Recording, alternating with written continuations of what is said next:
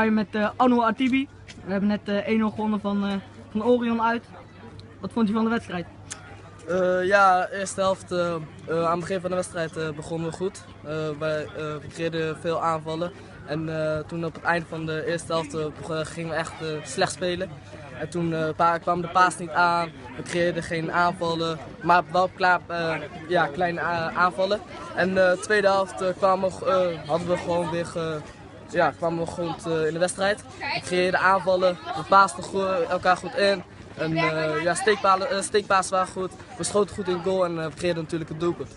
Oké, okay. wat vond je dat er beter ging ten opzichte van vorige week?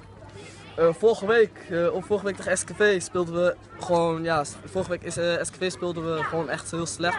En vandaag speelden we echt gewoon beter dan SKV. Oké, okay. wat vond je van je eigen spel?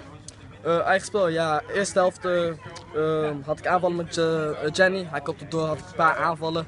En uh, ja, dat was op zich best wel goed, maar de tweede helft speel, speelde ik wel beter. Had ik meer aanvals, ging ik meer veel meer acties maken en schoot ik op doel, wat soms misging. Oké, okay, dankjewel. Nou, tot volgende week thuis tegen HVC. H.